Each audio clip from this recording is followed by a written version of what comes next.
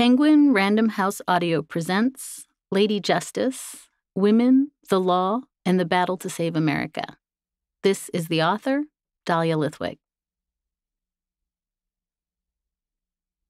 For Aaron, wherever we go, there we are, thankfully together. For my parents, justice and loving kindness in perfect symmetry. Introduction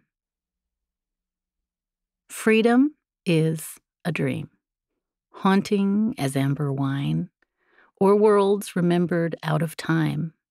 Not Eden's gate, but freedom lures us down a trail of skulls where men forever crush the dreamers, never the dream. Pauli Murray, Dark Testament. I'm not sure if my involvement in causes, benefits, marches, and demonstrations has made a huge difference, but I know one thing that involvement has connected me with the good people, people with the live hearts, the live eyes, the live heads. Pete Seeger. I sometimes think of the Supreme Court oral arguments in Whole Women's Health v. Hellerstedt on March 2, 2016, as the last truly great day for women and the legal system in America. There are, to be sure, many such glorious moments to choose from, both before and after Trump. But as a professional court watcher, I had a front row seat to this story one that offered a sense that women in the United States had achieved some milestone that would never be reversed. The landmark abortion challenge represented the first time in American history that a historic abortion case was being heard by a Supreme Court with three female justices.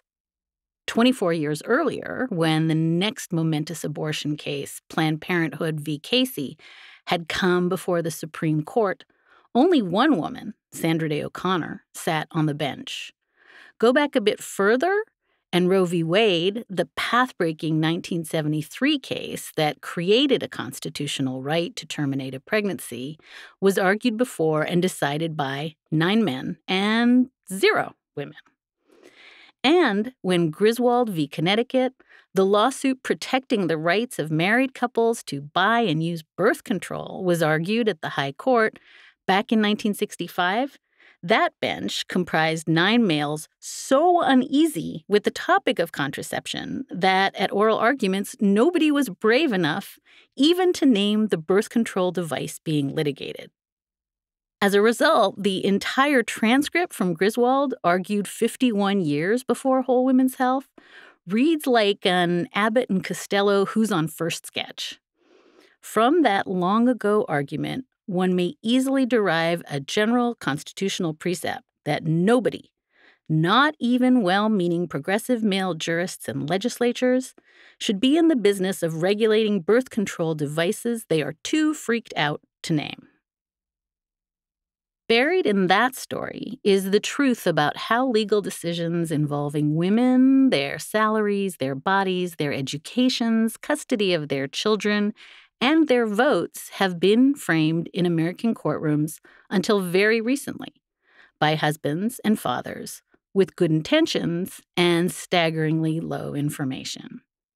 We lucked out. We got contraception and access to military schools, the right to our own credit cards, and all sorts of equal rights over the years.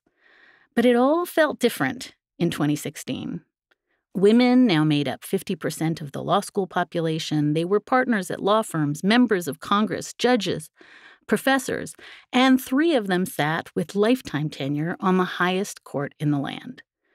Generations of women who had played by the rules and changed American institutions and government were poised to be part of a genuinely equal polity.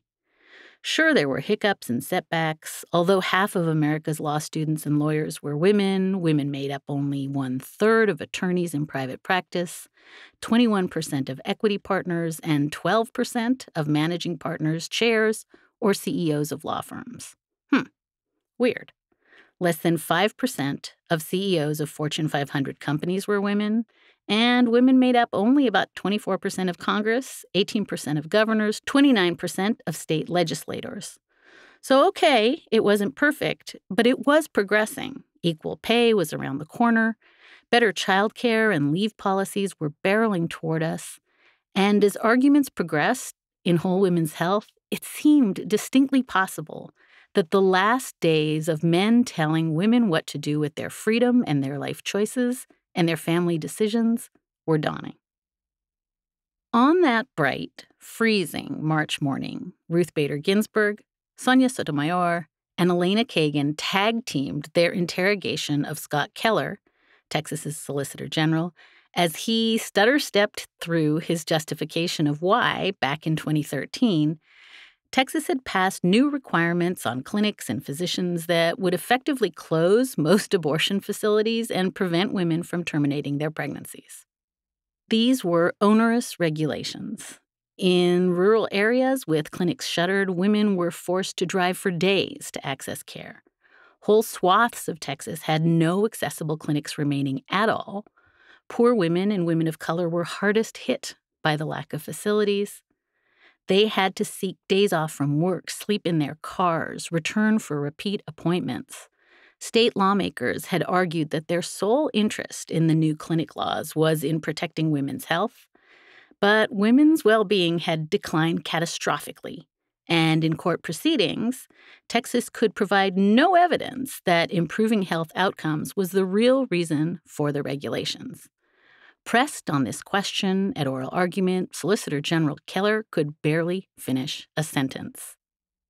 As the three women justices, deftly aided by Justice Stephen Breyer, the court's fourth feminist, took turns snacking on Texas's beleaguered lawyer, I witnessed for the first time in my 16 year career as a journalist something amazing. The rules of the Supreme Court road had shifted overnight. Court argument sessions are tightly controlled, highly formalized enterprises that haven't really changed much over two centuries, with the exception of COVID era telephonic sessions. The nine justices sit at the high bench next to the same spittoons, spittoons, sipping from the same tall silver milkshake cups they have been using for decades as lawyers make their formal arguments. But on that morning in 2016, the three women justices ignored the formal time limits, talking exuberantly over their flummoxed male colleagues. Justice Ruth Bader Ginsburg at one point essentially instructed the Chief Justice to add extra time to the clock for a female reproductive freedom advocate, and he complied.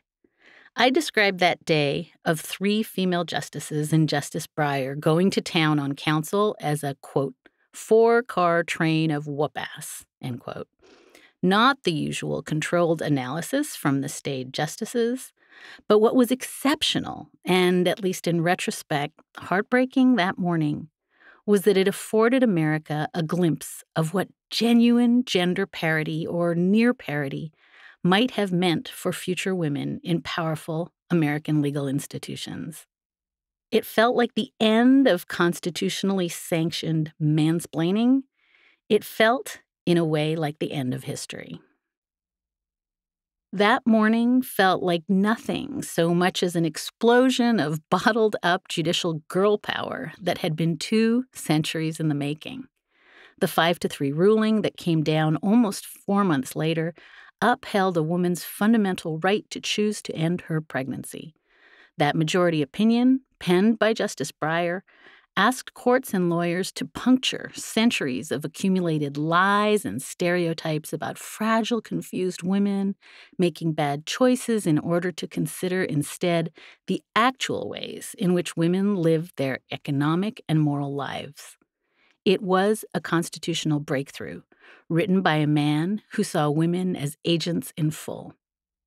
At that moment, the country appeared inches away from leveraging the law to serve women's dignity and equality interests on a massive scale. Back in that spring of 2016, we really thought we could see gender equality from our back porches. And then it was gone. With the death of Justice Ginsburg in September 2020, the seating of three committed anti choice justices by Donald Trump in the years since Whole Women's Health, and the reversal of Roe in June of 2022, that case will now likely stand as a high watermark we may not soon see again in the courts or in women's constitutional progress. It has become, at least for me, a marker of the end of history, but in completely the wrong direction. In a matter of weeks after Whole Women's Health came down, constitutional history began. We hope you enjoyed this preview. To continue listening to this audiobook on Google Play Books, use the link in the video description.